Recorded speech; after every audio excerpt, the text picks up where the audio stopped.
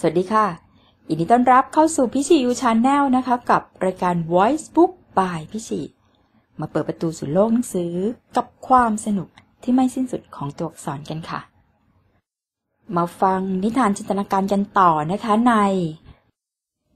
หนึ่งร้อยนิทานจินตนาการไม่รู้จบ เรื่องที่75ชัยชนะที่ยิ่งใหญ่ นานมาแล้ว ยังมีชายยากจนคนหนึ่ง เขามีลูกเล็กๆ ที่กำลังป่วย และภรรยาที่กำลังตั้งท้องลูกคนที่สอง แม้ว่าเขาจะทำงานหนักมากเพียงใด เขาก็สามารถหาเงินมาซื้ออาหารได้พอแค่ประทังชีวิตของครอบครัวไปวันๆเท่านั้นทว่าวันหนึ่ง ลูกคนโตของเขา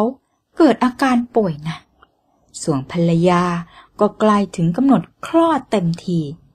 ทำให้เขาต้องทำงานหนักขึ้นเป็นสองเท่า เพื่อหาเงินมาเป็นค่าใช้จ่าย และเตรียมไว้ให้ภรรยาคลอดลูก ถึงแม้อย่างนั้น เงินที่หามาได้ก็ยังไม่เพียงพอกับค่าใช้จ่ายทำให้เขาต้องอดอาหาร เพื่อเก็บเงินไว้สำหรับการรักษาบุตรชาย วันหนึ่ง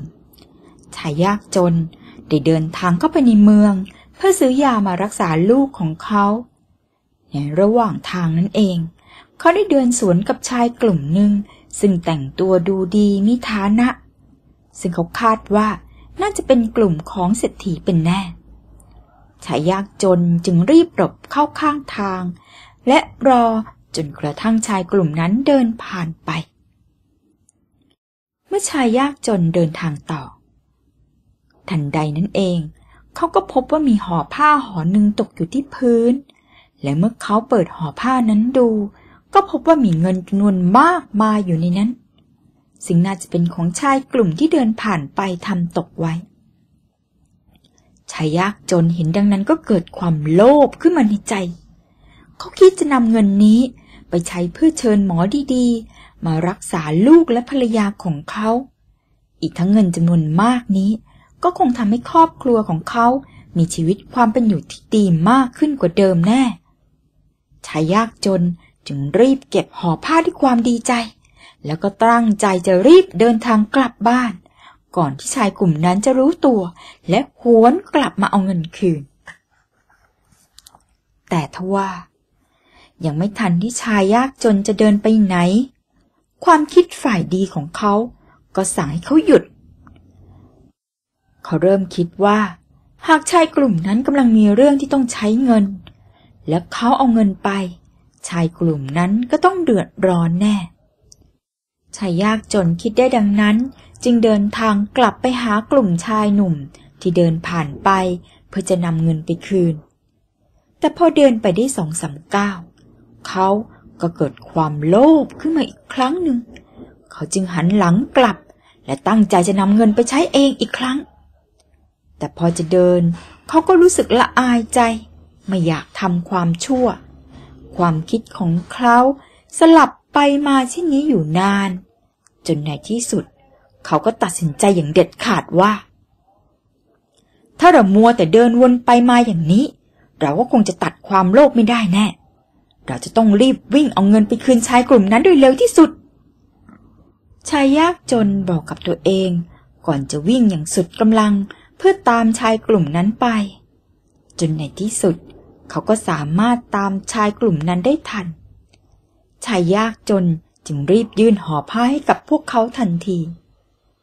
ห่อผ้าของพวกเรานี่ ท่านเอามาจากไหนนี่ ชายคนหนึ่งในกลุ่มถามขึ้น แต่ชายยากจนกลับไม่ตอบสิ่งใด นอกจากตะโกนด้วยความดีใจว่า ข้าชนะแล้วข้าชนะแล้ว เพราะอะไรท่านถึงจะโกนเช่นนั้น แล้วนี่เกิดเรื่องอะไรขึ้นกันแน่ ชายในกลุ่มนั้นถาม ชายยากจนจึงเล่าเรื่องราวที่เกิดขึ้นให้พวกเขาฟัง ที่ข้าตะโกนว่าข้าชนะแล้ว เพราะว่าข้าดีใจที่สามารถเอาชนะความโลภในใจของตัวเองได้ เพราะเป็นการชนะที่จะไม่กลับไปแพ้อีก ทั้งยังเป็นการเอาชนะที่ยากที่สุดด้วย ชายยากจนพูดขึ้นอย่างภาคภูมิใจ ชายกลุ่มนั้นไม่ได้ฟังเรื่องราวของชายยากจน จึงรู้สึกชื่นชมในคุณธรรมของเขายิ่งนัก โดยชายคนหนึ่งซึ่งดูภูมิฐานที่สุดในกลุ่มนั้น ได้เฉลยว่า ตนเองคือพระราชาที่ปลอมตัวมา เพื่อดูแลทุกสุขของประชาชน และพระราชาซึ่งปลอมตัวมานั้น ก็ได้มอบทรัพย์ทั้งหมดให้แก่ชายยากจน เพื่อให้นำไปรักษาลูกชาย และประกอบอาชีพต่อไปจินตนาการสอนให้คิด ชัยชนะที่เกิดจากการเอาชนะความโลภในใจของตนเองได้นั้น คือชัยชนะที่ยิ่งใหญ่ที่สุด ขอบคุณสำหรับการติดตามรับฟังในวันนี้นะคะ และพบกันใหม่ในบทหน้า สวัสดีค่ะ